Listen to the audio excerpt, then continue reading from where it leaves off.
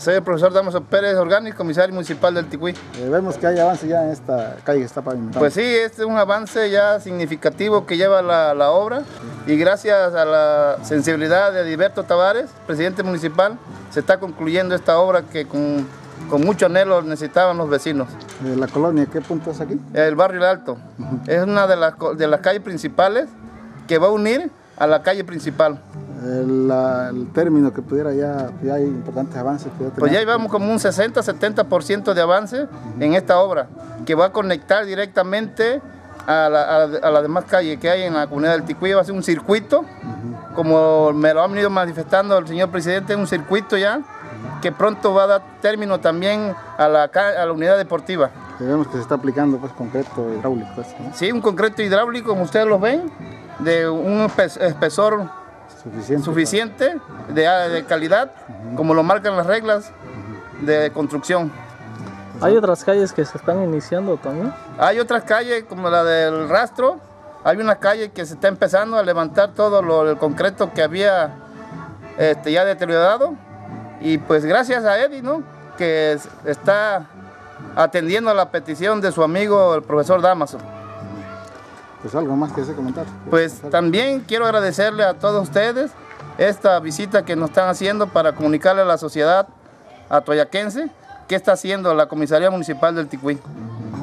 Lo vimos pues también ahí eh, tomándose la foto con niños del cortés eh, de la danza. Pues es importantísimo que las autoridades que estemos en, en- en- en- en estos tiempos darle impulso a la cultura, porque la cultura es una de las de los raíces, de las raíces de nuestros antepasados y tenemos que fortalecer esas, esas culturas, esas raíces que nos dejaron.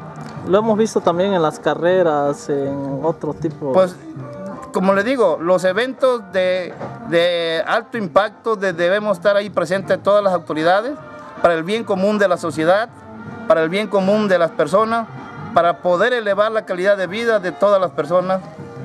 Y usted sabe que ahorita el deporte es, un, es una actividad que nos va a permitir alejar a los hijos, a nuestros hijos de las drogas. Eh, vemos también que en este año 2015 el presidente ha anunciado importantes obras de infraestructura educativa aquí en el, pueblo. Pues sí, que como le dije, este, quiero darle gracias a Eddie, que ha- va a hacer una unidad deportiva en la, en la secundaria en Edith Dos Ríos y otra, este, una cancha techada en la primaria Valentín Gómez Faría, por su municipio y por su pueblo. Y por eso quiero agradecerle de antemano al, al presidente municipal Ediberto Tavares por esta gran gestión que está realizando en bien de los ticuiseños y atoyaquenses. ¿Qué le pareció que los niños eh, fomenten ese tipo de cultura? Pues, pues me da mucha alegría, ¿no? Que los niños empiecen desde pequeños porque ellos son la continuidad de los, de los señores adultos, ¿no? Que tenemos que apoyarlos para que nuestra cultura no, no muera.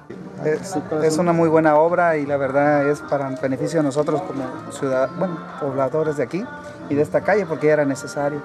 Eh, tenía ya varios años en este servicio. Eh, pues más o menos, más o menos, sí.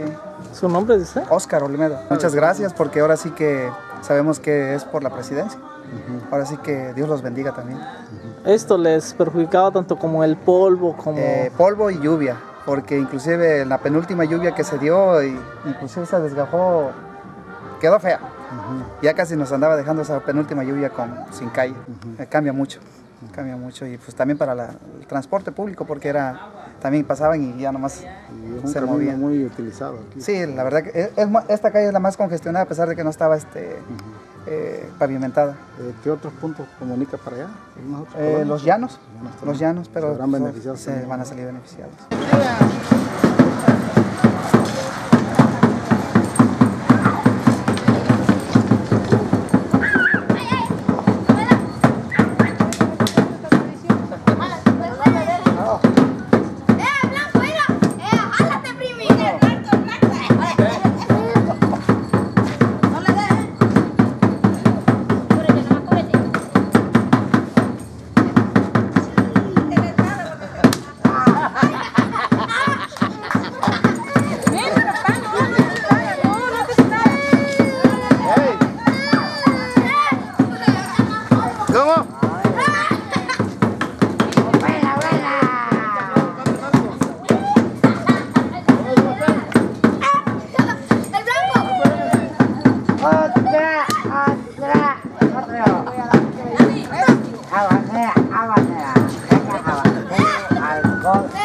Caña habanera, caña esa caña.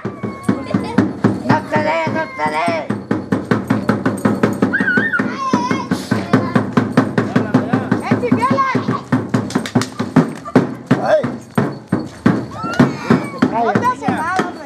Es tu hermano, es tu hermano y va a tu hermano. Los dos.